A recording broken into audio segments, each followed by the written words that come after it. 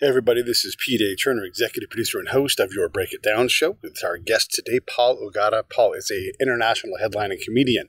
Now, normally he'd be on the road and too darn busy to talk to us, but since there's COVID and the comedy world, as he kind of describes it, is sort of in this uh, this uh, dysfunctional vortex of who knows what's next, but it's going to come back. And right now, we're trying to sort of sort that out. Anyhow, Paul comes on the show to t- talk about that, and uh, coincidentally, knows a lot about Hong Kong. He's toured there as a comedian, has friends there, and understands the politics of it. So we actually kind of venture into that area too. In- interesting dude, and I mean, it's hard to be more successful at comedy than Paul, so I know you guys will enjoy what he has to talk about. By the way, this show is produced and co-hosted by Matt Balaker. Now, Matt is a comedian in his own right and has written a book about Greg Giraldo.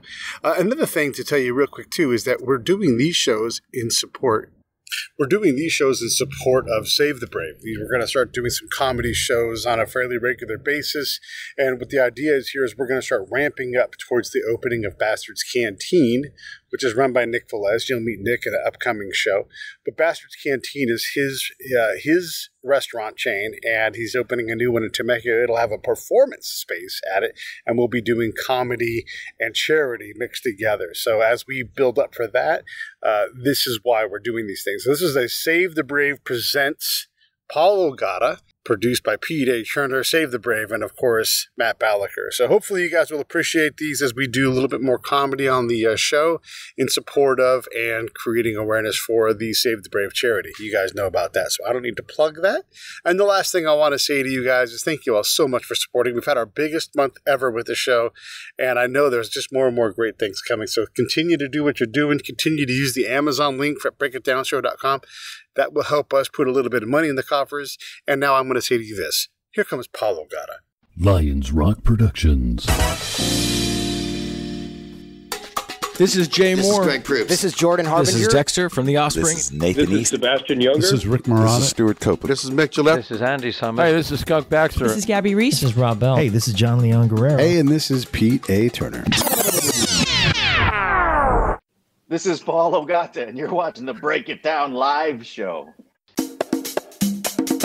And now, the Break It Down Show with John Leon Guerrero and Pete A. Turner. That's right. We are live. And I am recording from uh, Lake Arrowhead, which is fun. We have, of course, a new co host, but someone I've been dying to get on. We've been talking about doing stuff together on comedy for months, and, and he's been a former guest on the show, Matt Balaker. Hey, Matt. Very excited. Thanks for having me, Pete. No, no, my pleasure. Tell us why we have Sir Paul Ogata on the show. Well, he's one of the best comedians I've ever seen, and he was also available this morning, so it, worked out. It hit, it two fronts. Yes. Uh, we'll, we'll get into it, but Paul has a very broad and maybe useless, but obscure amount of knowledge in all sorts of things. So, from comedy to Hong Kong to also, he's one of the smartest and most uh, intelligent people I know. So, it's, it's good to have him here. Yeah, I, I agree. Let's for sure get into the Hong Kong thing because I'm interested in that, and that's not something you're often going to hear. But first, let's talk a little bit about the state of comedy because we just had we were talking off mic. We just had Aries Spears on the show, and he's like, "I've got a gig in Indiana this weekend. Actually, he'll be in uh, at what is it called? Not Spectrum, not Palladium. Anyhow, I'll figure out the name. Helium. That's what it was. Helium in Indiana."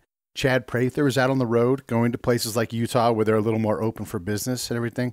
What's the state of comedy for you right now, man? Where are you at with your uh, level of comfort to get shows? Um, how available are shows? Talk to us about where comedy is at.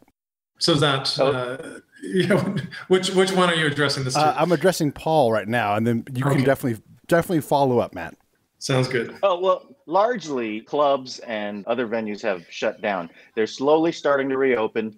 But then you're, you're seeing guys like Aries Spears getting in line. I don't know if he had this gig scheduled before everything shut down, and now that they're reopening, they're just resuming their schedule. But it'll be guys that uh, are in movies or were had TV shows that will start snagging these gigs first, and that's fine. So I'll, I'll sit back and let these other comics knife fight each other for these spots until there's a, a broader opening of clubs and venues and uh, and cruise ships and or theaters. So until then, I will sit back with my dog and my wife and enjoy this downtime, this enforced down, hey, downtime. Love it when the dog shows up. Matt, what's your follow to that? Yeah, when would you get on a cruise ship again, Paul? That's my follow. Like, uh, what would have to happen where you would go underground with thousands of strangers in confined, poorly ventilated areas? Immediately, I would do it. No, I'm sure when they reopen, they'll have the proper protocols in place and uh, safety measures. So I have utmost trust in their because it's a self-serving thing for them. They want to create a safer situation for people to resume cruising. So they're not going to prematurely open, and that's going to cause the complete death of their industry. I know those people, and I have faith in their safety measures that they'll be implementing. So when it happens, I'm all I'm all in, all in. Yeah. When you look at the uh, state of the economy, you talked about maybe the industry going away or completely being redefined. Where would you put us, like in terms of the comedy, the live stand up comedy industry?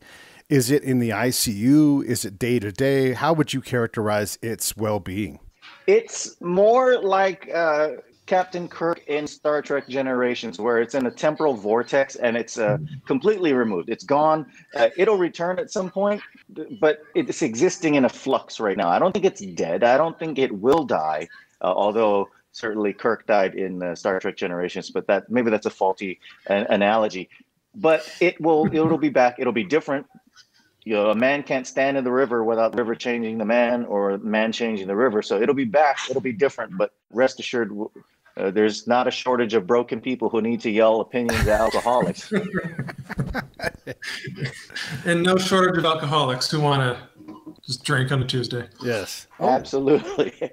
As he takes a pull off his Yeah. unnamed beverage. Yes. Yeah, and then uh, just a little bit more, and then, and then Matt take the next question. But when it comes to getting on a bigger bill, any concerns with that at all? Is there is there been a reshuffling of what it is to be a headliner or a national or international headliner, or do you have to kind of backtrack and say, I'm willing to work, and if that means I gotta, you know, open for Matt. Um, I'm, by the way, Matt's a comedian in his own right. You know, is there a reshuffling? Do you think? Yes and no. Uh, as as we see when these clubs are reopening, it's going to be the comics with a larger presence than comics with a smaller resume that are getting these gigs. So there's not a real reshuffling. And in fact, even Zoom shows, uh, comics with uh, larger resumes, they're still doing Zoom shows too. So we're all in this, and it's it's just a different delivery system of comedy. I don't think the game has significantly changed. Paul, uh, how do you think this pandemic can, if at all, help comedians or comedy in general? in terms of uh, weeding out the chaff or? That Yeah, could be an example, or, or reinventing it in a maybe a better way, or? Well i'll tell you one thing. It's hardened me up. Now when i do zoom shows and you don't hear laughter i don't have the immediate need to go cry behind a dumpster anymore you get used to the silence which is weird because i used to do morning radio for eight years and there you have no feedback you just shout into the void and you hope that people mm-hmm. are listening and so i kind of fell back on that and had to rely on that Yeah, and then what a headliner is, again, being redefined in a different way. Like if you were already ahead of the game on Instagram just because you worked that hard, but you weren't necessarily booking huge rooms because you didn't own theaters, right? Like there's comedians that own certain theaters, they go there, they always kill. But if you killed on Instagram because you were funny on IGTV, is that making, is that redefining what that headliner is or could be?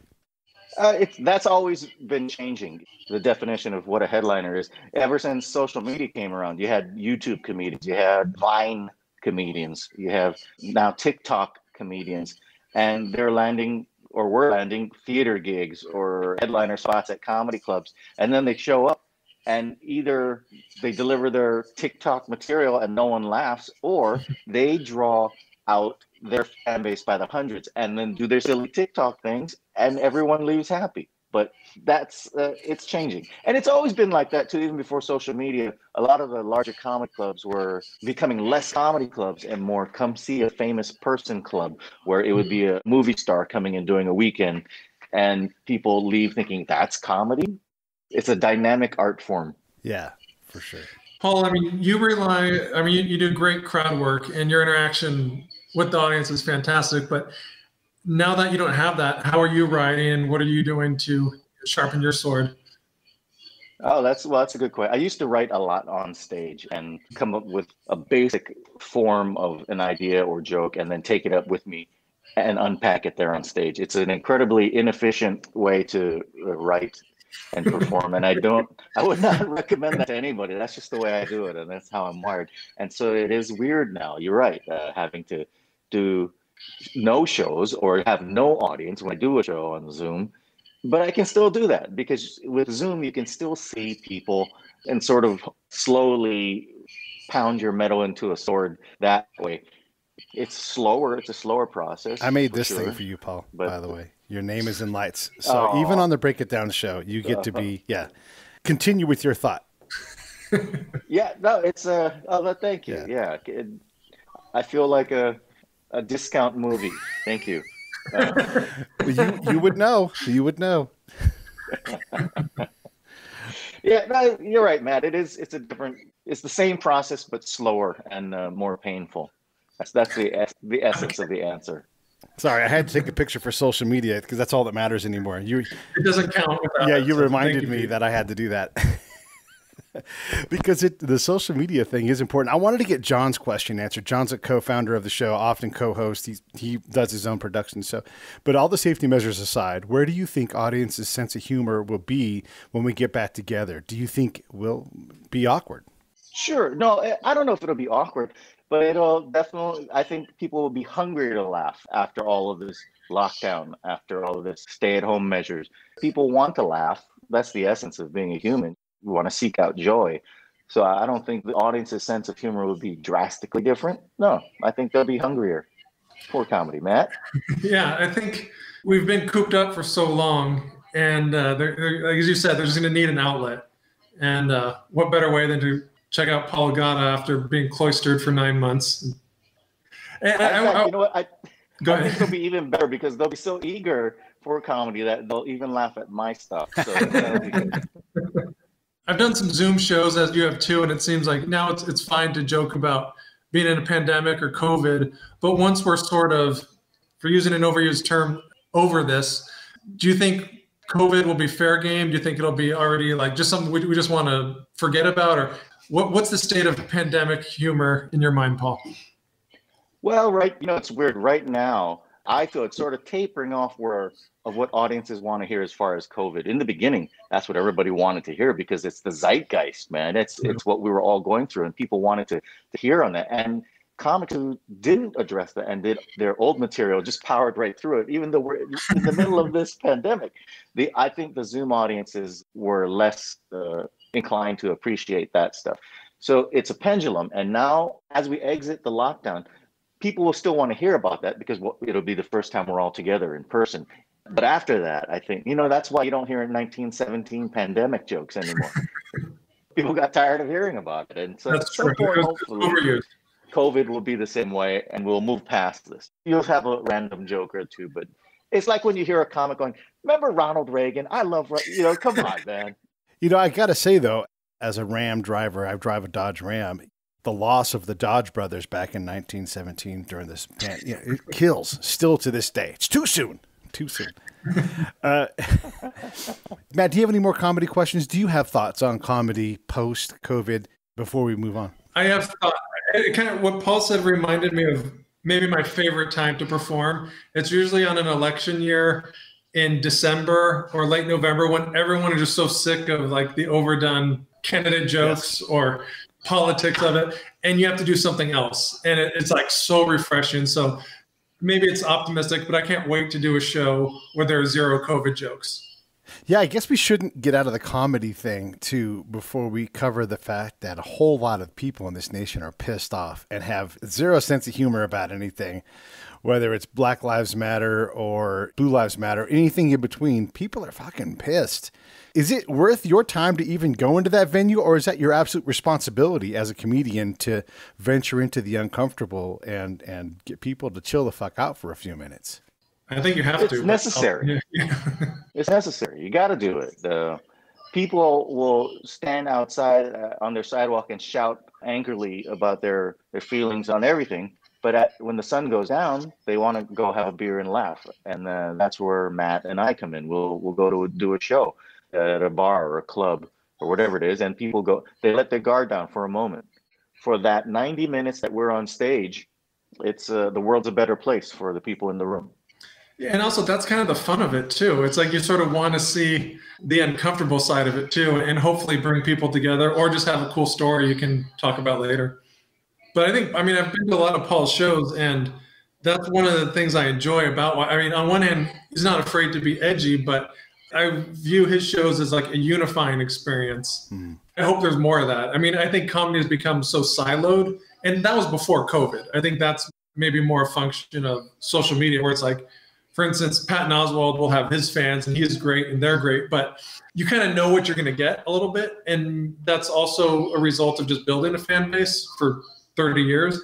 But I really admire comics when the audience doesn't necessarily know them, like, you know, me, and then they can unite. And I think Paul does a hell of a job with that. So check him out, is my point.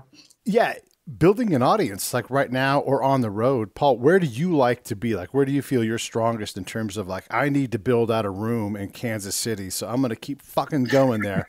Or is it i don't know i mean how does one do that? We're all established. Aries was talking about like he's like i know i'm established but still a lot of people don't know my name. I've been in a, a world famous movie jerry maguire but i'm still doing all these things and yet I have this incredible body of people that follow me. How do you deal with that? I mean, are you ever satisfied as a comedian? Is Kevin Hart satisfied with the size of his audience? I don't think Kevin Hart is satisfied with the size of his audience. That's what makes Kevin Hart such a force in entertainment. That he's never happy with the massive success he's had. He's always wants to build on that, and I think we all of us can take a lesson from Kevin Hart's playbook on that. But far too often, and I'm guilty of it. We get complacent and we sit back and we say, okay, well, you know what? When I first started, I was uh, doing open mics and I just wanted to get paid to do comedy. And so a lot of us will just take that step and now we're good. Now I'm getting $20 and a free nachos to do comedy. And we don't progress more than that.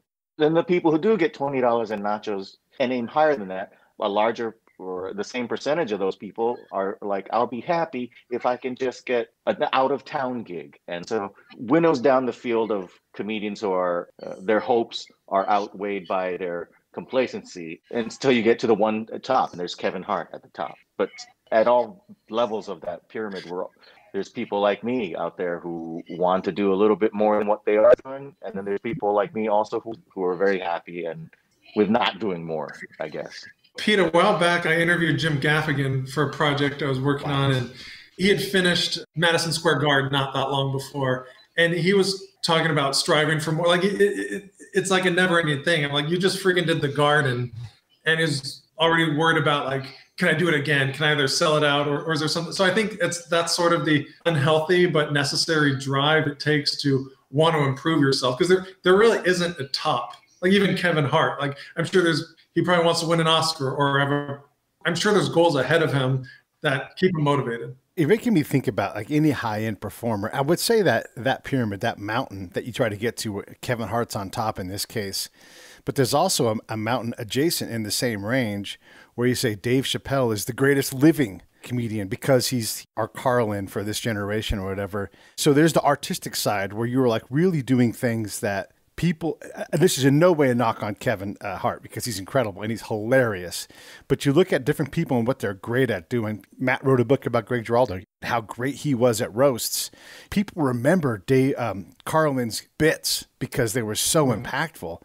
When you think about that like do you care? Are you in the saddle between the two mountains? Do you have a sense in general for yourself either of you or in general in the comedy world that battle between like Fishbone as a band is the best example ever. They always make the artistic choice. They don't give a fuck about success because they do this as artists. And people care about those that know about Fishbone instantly are like, this is fucking great music. So how do both of you guys deal with that conundrum of success, art, and making money and surviving? I married a successful woman so I can be the artist. That's that's how I deal with that. But trophy husband. Yeah, so you know that's we all have to make our sacrifices, Pete. Yes. What about you, Paul? Trophy husband status? No, uh, I'm just uh, I'm lucky to have a supportive wife, and she has a job, and like Max's wife, and so it allows us to do these things, to do comedy, and sure, we get paid for it, but it's an unorthodox situation for sure. But to answer your question, I think we aim for art as comedians, and largely it's subjective. It's like saying what's the best way to sausage to prepare sausage, and some people are like, I like it with eggs, and people are like, No, you're you're stupid. It's best in jambalaya.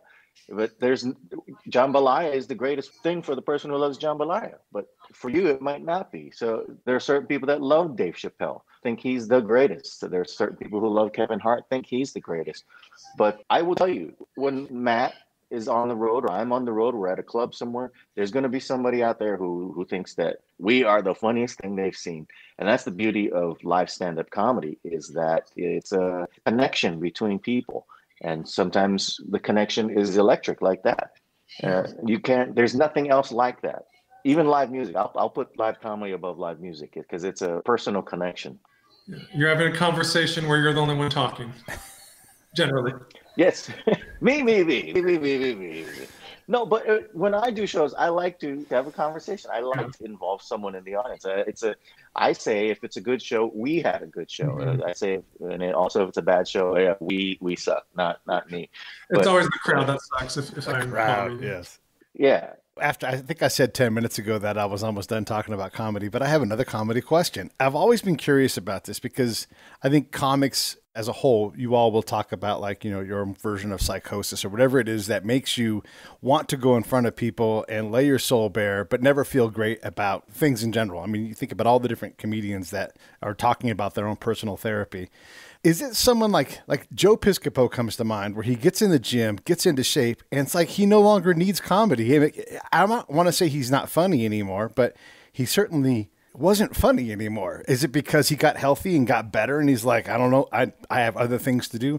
What are your thoughts on comic place and state of mind where the job by itself, you end up in a bar at the end of the night, and it's like, now what do I do? Oh yeah, you know, I, I just got done working. So talk a little bit about both of you. Talk about that. Like, is it that Joe Piscopo gets strong and healthy and better? Is it something else? What is it? You can't be funny Well- with a six pack. That's what Paul said. comedy is not for the pretty. It's uh, No. I don't know. There are people who are good at comedy, and there are people who need to do comedy. So you find out who's who later on. You know, Jerry Seinfeld was good at comedy, but he got successful. He's a billionaire now, or close to Yeah. it, but he still does comedy because he needs to do comedy. And guys like Joe Piscopo, I guess, didn't need to do it. He was. I, I don't know if he was good at stand up. I don't. I don't I've never seen him do stand up. I think he shot to fame on Saturday Night Live and then rode that little uh, special engagement at the comedy club train for quite a while. And he might be funny. I don't know. I've never The seen him, last but, uh, bit I saw him do live was I think it was on the late night on the late show or the Tonight Show, I think, and he was doing no shirt on, doing pull ups with leg ups, and then rotating his. And I'm like, that's not comedy. That's working out. that was his. That was his comedy at that point. CrossFit bit. That's Yeah. well. John has another Put a question. shirt on. And he might have been oiled up. Could have been sweaty. Either way. yeah, John's got a question. Have you ever really taken pleasure in absolutely obliterating a heckler? Is it as fun as it looks? yes. That's the end of the answer, right? there. Great closed question, John. It's- sure it is because especially if it's a heckler who is persistent and won't won't shut up won't listen to the audience or the, the staff or the comedian when they obviously all vote for that person to shut up and they don't and so you have to come with the hammer you don't immediately come with the hammer uh, uh, because then you're the bad guy but sometimes they keep pushing you and pushing you and pushing you to the point where all right now it's on and so you unload and and they don't stay down. It's I mean it's like in the movie like stay down, and they, they, but they keep getting back up. So you have to hit them, uh, and you have to hit them repeatedly. And yes, it feels good, John. I don't like have to do it, but if it happens, uh, oh I yeah, comedian destroys heckler. I guess is the Yeah. description for that video. Which often, by the way, a lot of those videos, comedian destroys heckler, is not comedian destroys heckler. All right, I, I would venture to say you rarely get to see that recorded on video. It's uh, it's always because you know what it is. It's um everything changes through observation. So if you know a camera's on you as the comedian, you're gonna act differently than if you didn't think there was a camera on you. It's Schrodinger's cat, right? It, it exists in a superposition quantum state of uh, it's both things until uh, you observe it. Then it's Did you just read Anyway, that I I story? just wanted of to- that, that quantum physics story? That was there was just literally they were talking about the cat and that whole thought. Did you read that story at all or no?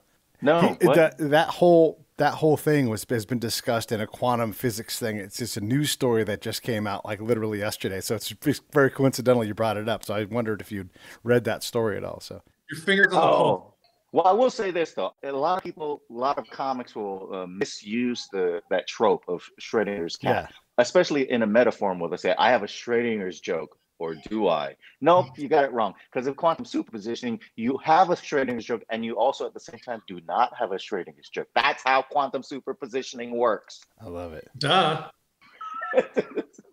So uh, Paul has done a bunch of uh, military shows. How did you get into that world? I was fascinated by that kind of stuff. I was a kid. My dad would take me to see air shows, and you'd see the military jets fly by, and you're like, "Oh, wow, that's that's all pretty cool." And when you're a kid, you see war movies, you're like, "Oh, wow, I want to see all that stuff." And I never served, so I never, I didn't get to see that stuff close up. And so when the opportunity to get on a, a USO tour popped up, I jumped on it immediately because I wanted to see all that stuff. And uh, I did get to see some pretty cool things doing shows for the military over the years. Uh, top secret stuff, riding in tanks or in as a B2 stealth bomber. Took a picture climbing into a Harrier, uh, landing on an aircraft carrier. It's yeah, that was pretty fun. But over the course of seeing all those things, I got to meet the people. I got to meet the the men and women in uniform, and that's far more of an amazing experience for me than seeing any of the other stuff was than getting to fire machine guns or throw grenades or whatever. But meeting the real people doing the most difficult things that we ask them to do that we task them to do in impossible situations. And they all have unique stories and it's that's what really draws me back. I'll go back anytime any place where we have men and women in uniform at whether it's domestically internationally in a war zone i'll go back my wife told me not to but you know jewelry um, uh, but yeah, wherever they are, I'll go. It doesn't. And people always say thank you for doing what you do, Paul. I'm like, no, I don't do anything. I, I show up and I eat their food. That's all I do. But it's my way of saying thank you. Yeah, and, and as I'll a guy that's received those comedy shows, it's great. It's great to have someone come, even if it's often hard. Like as an audience, we're really far removed. A lot of times, we're spread out because you know whatever. A lot of us are just passing by. Like it's almost like you're doing stand up in a really dangerous mall. I always took time to stop and then you know appreciate and be in the mood to laugh. Sometimes you're just so fucking tired. Like that's funny. That's funny. So just to fly halfway across the world, to fly into a dangerous place, and to go, I you know, I always I can speak for all of us. We always love it. We appreciate it. We had um, Robin Williams, J- uh, John Elway, uh, a hot chick. I can't remember her name right now off the top of my head, and then the guy who was the uh, the super Creole guy from Waterboy, Leanne. Um, what's her name? Leanne. I can't remember her last.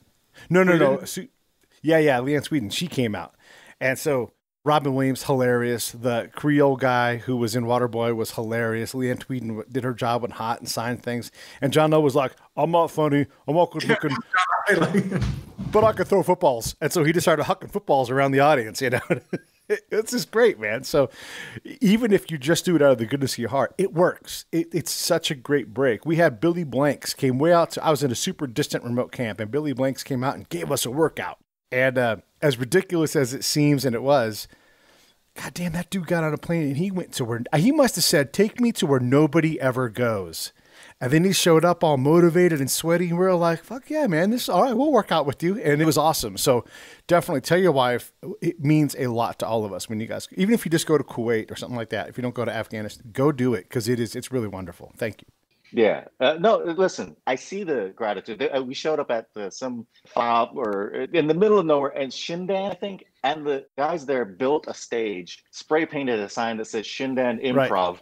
They made it into a comedy club for the show. It was wonderful. I can't remember the name of the, this cop command outpost in the middle of nowhere in Afghanistan. We showed up, and every day, every day at 3 p.m., the Taliban would launch shells at them, mortar uh, shells at them, and it, it- every day at 3 p.m. So we go, we f- we fly all the way out there to the middle of nowhere. And what time do they schedule the show? 2:45. uh, Come in, 345, maybe four. yeah. 305 when the shelling stops. Maybe skip. Nope, 245. That's when the show happens. So of course, the middle of the show, uh, sirens go out. Incoming. Incoming, Take yeah, cover, take yeah. cover. Okay. There's not many things more terrifying than have your mind kind of wander and all of a sudden you hear incoming, incoming, incoming. And you're like, ah, what do I do? And then a lot of times the answer is just lay flat on the ground.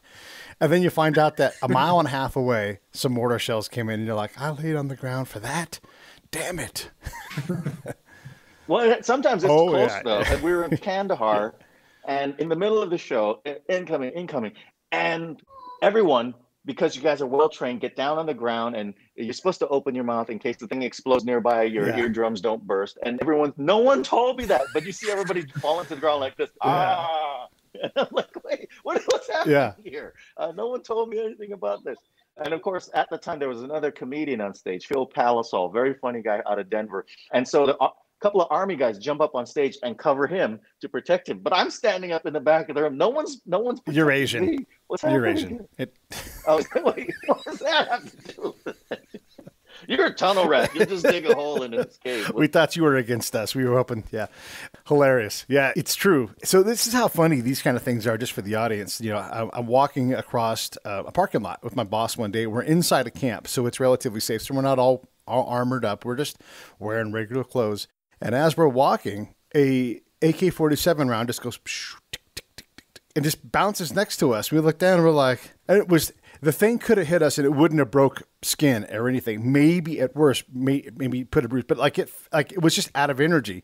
But literally, some guy somewhere shot around in the air, and we were at the other end of that, however far away that was, because we didn't hear a gunshot. And those are the kind of things that happen. And as a, as a comedian that goes on these kind of tours, you experience these things. You're like, hey, look, there's a giant bomb hole over there. Let me go stand in that. And then you stand in the bomb hole and make a funny face or whatever. But tell me you got that and you made it into a, a necklace or something that you picked it up. I, I don't remember what we did with it. Yeah, it's stuff like that happens though. Like maybe Bruce Bruce was the guy walking next to me. Maybe he grabbed it. Maybe we just left it on the ground. I don't know. But I've certainly grabbed things where I'm like, holy shit, look at this thing. You move and you're like, ah, it's just a piece of metal. But yeah, you're right. Like those things are things that you grab and go, this bullet, we almost got shot by this bullet. Because I'm sure there's a lot of guys or gals that send brass home. You know, they got the empty uh, shell cases that they send. I got some of Yeah. that sitting in upstairs. But at least the bad guys don't have depleted uranium, so you can pick it up, right? It's, you're not going to be. Yeah. Yeah. Let's talk about Hong Kong because it's interesting that you've got the, you've got that experience and look, it's a really confusing place for those of us that aren't savvy to that and and you know, it's like we only worry about our own conflict here and we tend to think that our conflict is the worst ever of all times, but it turns out people in Hong Kong are fighting for for freedom or for acquiescence depending on which side they're on. What do you know about how can you make us smarter about Hong Kong? Hey, this is Pete A. Turner from Lions Rock Productions. We create podcasts around here. And if you, your brand, or your company want to figure out how to do a podcast, just talk to me. I'll give you the advice on the right gear, the best plan, and show you how to take a podcast that makes sense for you, that's sustainable, that's scalable, and fun. Hit me up at pete at breakitdownshow.com. Let me help. I want to hear about it. But it turns out people in Hong Kong are fighting for, for freedom or for acquiescence, depending on which side they're on. What do you know about how can you make us smarter about Hong Kong? Well, and it kind of circles back to an earlier topic we covered or a question you had about building your audience. I, I've been doing shows in Hong Kong since 2004. I've been flying out there sometimes three times a year to do shows. Uh, this is actually the first year in 17 years that I am not doing shows in Hong Kong for at, at various reasons, as as you know, the COVID thing, and also the the mass protests that really put a, a clamp down. Last time I was there in last November, when I was doing shows, I, I got I broke out in hives because of all of the tear gas in the air, and it was. I didn't even touch anything. Just walked down the street, and all of a sudden uh, I'm covered in hives. But that's the reality that uh, Hong Kongers are facing right now. A lot of people have a short memory on what Hong Kong is. People think, well, the Chinese took it from the Brits. Well, no, the, the British people handed it back because the British people had it for 100 years. Why did they have it for 100 years? Because of the Opium Wars. And uh, the British wanted to do commerce, do trade with the Chinese. The Chinese, however, said, no, just keep buying our tea and we'll make all the money. And so the British were like, well, what can we do to get money out of this country? So they introduced opium. They gave them drugs. And so uh, this was, yeah, it went gangbusters. They made their money that way. But pretty soon, uh, conflict broke out on uh, on the drug use and uh, that illicit trade. And so the British took over uh, Hong Kong, they took Macau, went to the Portuguese, uh, et cetera, et. Slowly, Britain extended the landmass of Hong Kong by leasing space in the new territories from China on the mainland side. I think that was the problem with Britain. If they hadn't leased this territory, which they had to give back at some point, Hong Kong was theirs in perpetuity, so they could have held on to it. But by expanding the footprint of Hong Kong into a rented space, at that point they really had no choice. So that's the situation that Hong Kongers face now. China, in the joint agreement with the UK, was supposed to keep a two systems, one country thing in place where Hong Kong would have relative democracy until 2047. But that's obviously fallen by the wayside. That's sadly where a lot uh, uh, we find ourselves. Yeah. Paul, what happened? I, I know uh, obviously the, the Daryl Morey tweet about a year ago kind of brought this to life in the US, but what happened more recently that made the tensions rise so much there? In Hong Kong? In Hong Kong and China- mainland. Oh, okay. The uh, there is a guiding principle in Hong Kong law, uh, the Basic Law, which is sort of like a constitution.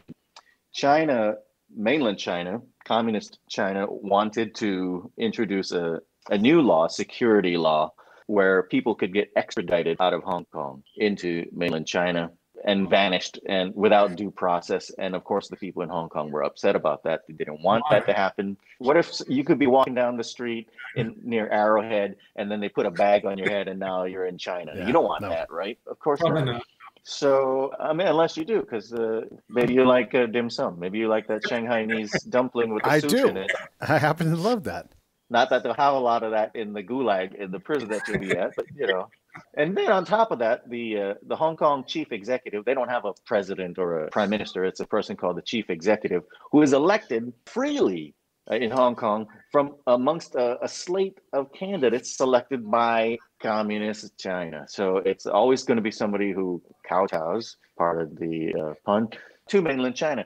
And so Carrie Lam, that's the woman who's running Hong Kong now, did nothing exacerbate the tensions by having police in Hong Kong brutally attack the citizens there. And it's it's documented on videos and it's it's easy to see if you go and look it up online. So the people saw that they said, "All right, can you dial it back?" And she said, "Nope, this is how it is." Basically, and protesters even before China implemented the security law, were they vanished. They're put on trains. They're taken to mainland China. People who owned a bookstore that sold books espousing freedom and independence from China were vanished and uh, taken to uh, ostensibly, I guess, re-education camps in China. That's what happened, Matt. That that's what the people showed up in the hundreds of thousands out there to protest. It was an amazing sight to see. Then people, students took up positions at the Hong Kong Polytechnic University and other universities there too, and staged holdouts against the police, where the cops came in with weapons and tear gas. Which, by the way, did you know that in America we are not allowed to use tear gas against enemies? Can't use that in war. It's it's part of the Only on your yeah, but but here the cops can just uh, only at a tear gas you. protest or Waco, Texas or something. Yeah. yeah.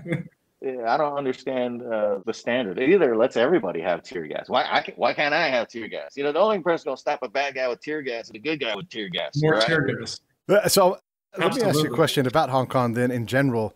Do are they legitimately called the Hong Kongers? Is that the uh, what do you ever call the name that you call someone, or are they the Hong Kongese, or or what do you what is the actual name? Is it Hong Konger? Hong Kong Konganesianers is not the correct term.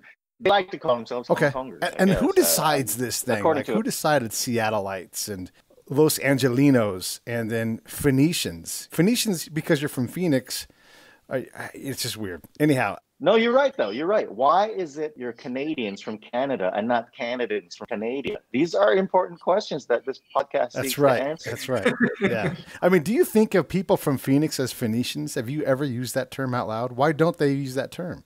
They, uh, I don't know. Uh, that's a good one. Yeah, thanks for bringing this up. These are the things I think about. Why are people from Glasgow Glaswegians? That's a good one. Are they really Glaswegians, or did you make that? Glaswegians. Yeah, Yes. because they want to. They want nobody to say that word ever. Yeah, and then like Afghans are called Afghans, not Afghanis, and yet we all say Afghanis, and they even say Afghanis because they care less than we do. We're like, no, you can't call them Afghanis. They're like, I am Afghani. You know, it's like they just move on with it.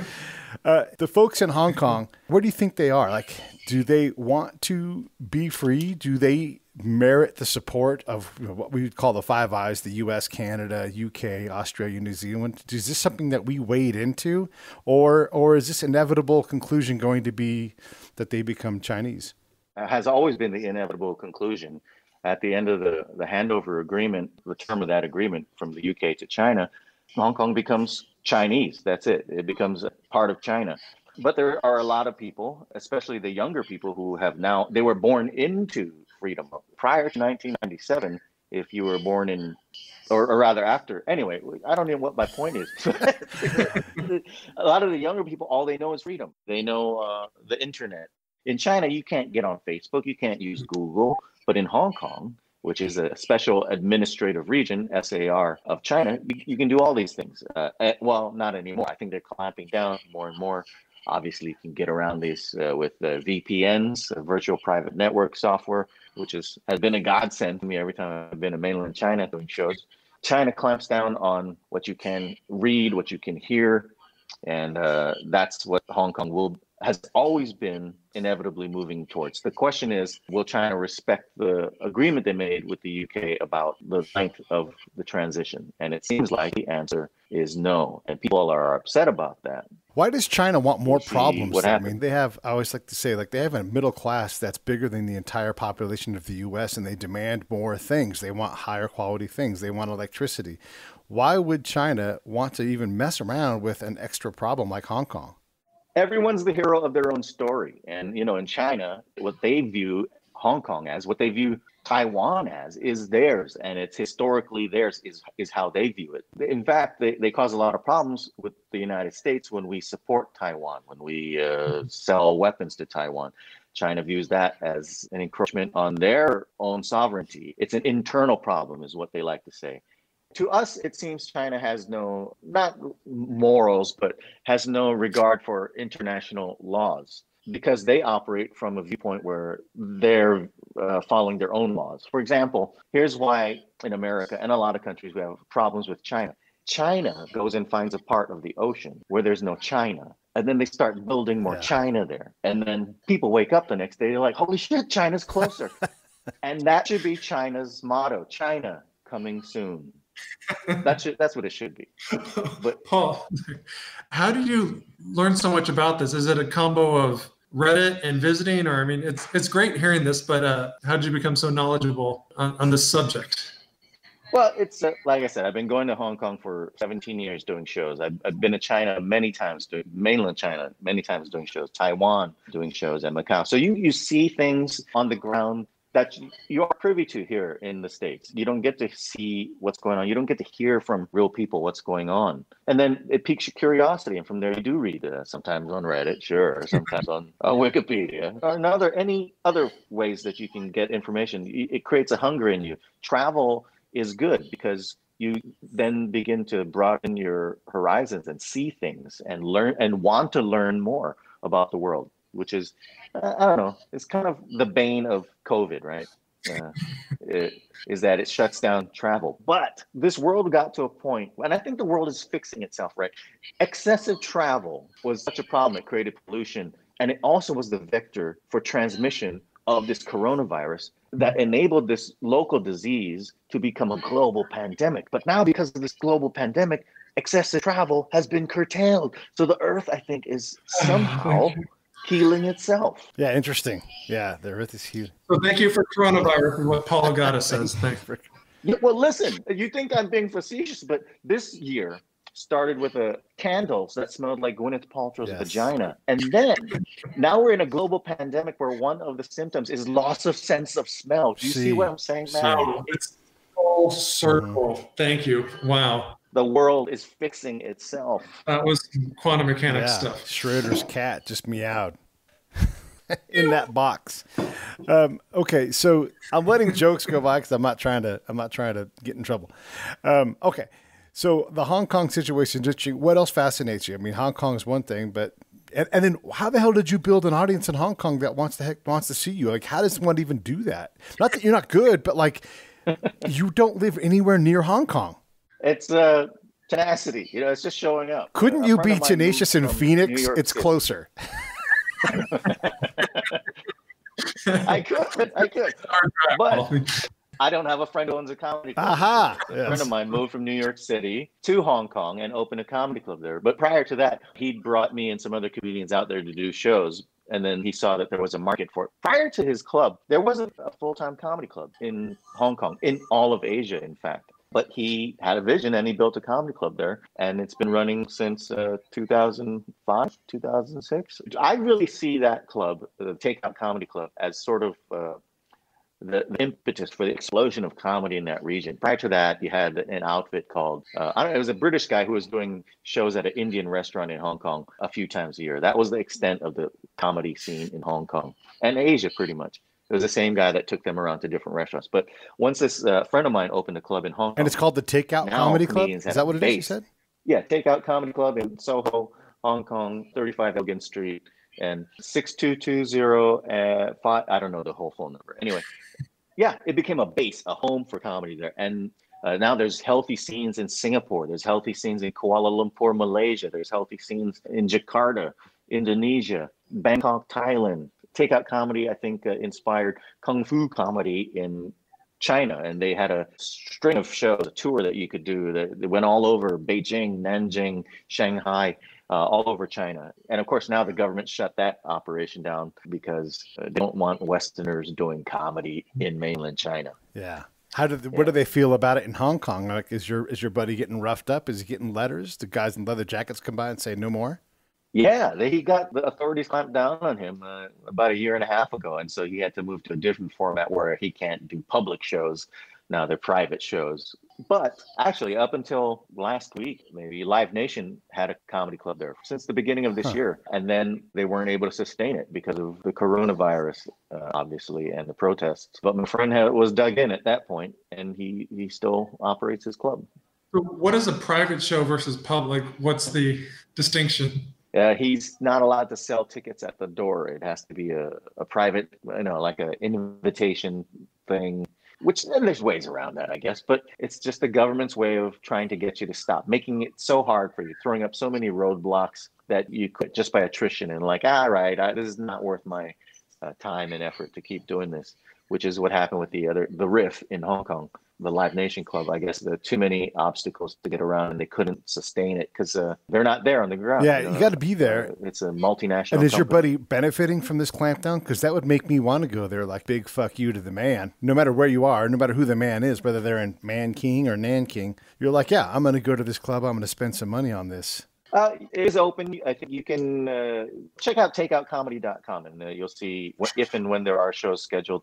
You'll see it's a vibrant scene. There's a lot of very talented comics in that city. You won't be disappointed. And Go check it John wanted to know, Uh, is he yeah, benefiting is from he it? benefiting from it? uh, I don't think he's benefiting from. It. I don't think he is. It's uh, obviously cramping his uh, business. And then John wanted to know why was Asian culture so ripe for a comedy explosion? it's not that Asian culture was ripe for it, but they had not had American style English language stand up comedy. Stand up existed in some form everywhere. In China, it was called crosstalk, whereas, very, oh, hold on, Yeah. my dog's eating my charger. Uh, uh, they had a thing called crosstalk in China, mainland China, where it was uh, kind of like Abbott and Costello, two guys just talking with each other. And that was what they had. They didn't have what we do, what Matt and I do, what Aries Spears does. They didn't have that there. But over time, now people can see clips on the internet uh, of American style stand up comedy. Yeah, the interest for it grew and it was an untapped market. So it was less a factor of culture than it was of geography, I guess. And are the crowds there, Paul, mostly expats or locals, or what's the mix in the audience? It's like the United Nations, man. In Hong Kong, when I'm doing shows there, you got people from the Netherlands in the crowd. You got people, local Chinese from Hong Kong. You've got Brits, Americans, Canadians. It's it's like that scene in the the Star Wars prequels where you're in the the M, not the Empire, but then Yeah. the Republic chamber, and there's a everyone from different pods are from different parts of the galaxy, and that's the beautiful thing about doing shows in Hong Kong is that you get that. Uh, it's not the case throughout the region. In Malaysia, when you're doing shows in uh, Kuala Lumpur, for example, it's a lot of locals. It's a lot of uh, local Malays or local Chinese, but it's local people coming to the shows there in KL. It's like in America, different cities produce different audience demos. In Iowa, you're going to get Iowans probably, but uh, in LA, you get people from all over. And then Asia's a big place, and if you've played in Kuala Lumpur, you're not within thousands of miles of playing in Tehran. What's the black room? What's a black room equivalent in Asia? Like, where are you like, oh man, when you go here, you got to perform a different kind of comedy because it just Hong Kong comedy won't play there. Well, I don't. You mean in the region or in no, I mean city? in the continent. Uh, like, if you're in Israel, I'm sure they have comedy there. But if you're in Tehran, different kind of comedy, and if you're in Bangladesh, different kind of comedy, and if you're in Mongolia, different kind of comedy. So, like, do you have any kind of sense for regionally what it's like? I mean, you said Malay; it's a lot of locals, but Well, yeah. Listen, I did a show in Pakistan. The, at the time, uh, the producer said it was the first public English language show. I often get roped into doing these guinea pig shows uh, for some reason. now we've getting Uh, somewhere. first time ever, we're doing a show here. L- Let's Oh, go. we'll have nachos. I'm in. That's my goal. I'm like Mikey eating the cereal. He'll eat it, he eats anything. You'll get different cultural situations, different governmental situations. In Malaysia, they issued me a list of 17 things I was not supposed to talk about on a radio uh, show or even broach the subject of things like politics, religion, crime, or whatever it is. So there's the government will tell you what you can and cannot do. I've done shows in Singapore and Malaysia where the government will show up during my show their special branch of their police wing will show up and say, "Oh, what's that guy talking about?" And they'll, they'll take notes while I'm on stage, and it's kind of creepy. But so far, I haven't been thrown into a prison overseas, locked up overseas. Yeah. When Wow. I was in Pakistan, you would think that in Pakistan, when I went, the State Department told me, "Do not go." My wife told me, "Do not go to Pakistan." My parents flew from Hawaii to California to tell me not to go to Pakistan. And I get it. I get it. It seems like it's a dangerous place. But when I got there, uh, obviously all local Pakistani people there, and they loved it. The shows were amazing. There's really no black room. There's no places that you have to substantially change your act. Uh, obviously, little tweaks here and there. Like in mainland China, that you cannot address the three T's: uh, Tiananmen Square, uh, Tibet, and Taiwan. You cannot. Oh, thank God, titties things. are not on the list. Yes. Yeah. well, those are two things. And yeah. Oh man! Um, all right, so everybody should definitely go check out Paul Ogata at paulogata.com. Fortunate for you to get your own name as your uh, URL. That's fantastic. Shows coming soon. As soon as he can be guinea pigged into something. Well, I'll tell you what. eh, If you would need a dose of uh, whatever it is, the hell I do on Emmy night on ABC. This is September twentieth. Check out the Emmys. But before that, it's um, the lead into that is uh, Celebrity Family Feud, and uh, you can catch me on that. Uh, yeah, Brad Garrett is a friend of mine, so he asked me to come and be on his team. So it's me and a bunch of other comedians and Brad Garrett versus Ray Romano. So it'll it'll be a, an actual, well, fake family feud on Celebrity Family Feud, September 20, ABC, right before the end. Perfect. Check yeah, it for sure. And then you said Ray Romano. Do you ever go play uh, after you do Ray's Room in Vegas? Do you ever go play the Dirty at twelve thirty over at uh, the? I think it's at South Coast. Yes, uh, I've I've been there. Gabe's Yeah, a friend Gabe's of good mine, dude. Gabe Lopez, the guy who runs that thing. Yeah. and uh, he, it's a amazing show Oh he's my put God, together. yeah, it's it's- uh, twelve thirty That's at great. night. You wouldn't think anything's happening, and yet he packs out this showroom at the Yeah. South Point and the, the the ass end of the strip, and uh, people come out in droves to see comedy with no filter. Yeah, It's no, great. it is great. Uh, any last questions, Matt? How did you learn the correct pronunciation of Pakistan? I don't even think I. I don't know if I'm saying it was correctly. impressed by that. I always said Pakistan, and, and you, you showed me the right way. So you're clearly more culturally literate. So my hat's off to you. No, I, I don't know if that's correct or not, but I will say this: as Americans, we don't give a shit about how people say things. We say it our own way. Uh, you know, so maybe I'm saying it wrong. Maybe I'm saying it correct. But I, I like how you're I saying. don't care. Yeah. There's not really a Is, and is that correct? there's not really a p sound in Arabic. So if an Arabic pronunciation it would be like Pakistan. But I'm not saying it right either. And like you said, let's just call it Pakistan and be done with it. Are you Pakistanis? Or, or there's that uh, Middle Eastern country. There's that country in the Middle East called uh, Qatar, which as Americans we're like, you go to Qatar. Qatar, Qatar. Can- Or if they slow down, they'll say Qatar. Like like saying it slower makes it better. Qatar. Hey man, Yeah, that's that's that's our go-to as Americans. When if people don't understand us, we just use Yeah. louder. English. I love how President Trump says They'll China. it. He did, he can't, it's the shortest word ever, and he can't say it. China. Yeah.